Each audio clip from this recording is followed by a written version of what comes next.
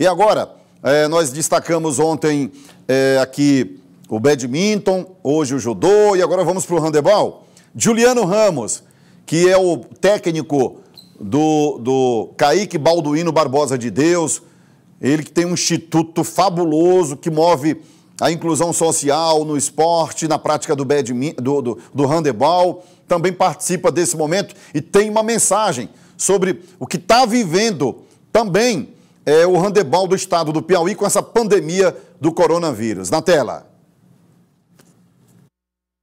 Bom dia, meu amigo Herbert Henrique e Cidade Verde Esporte. Tudo bem?